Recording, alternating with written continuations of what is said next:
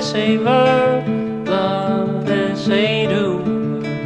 Feathers on my breath, gentle impulsion shakes me, makes me the Feathers on my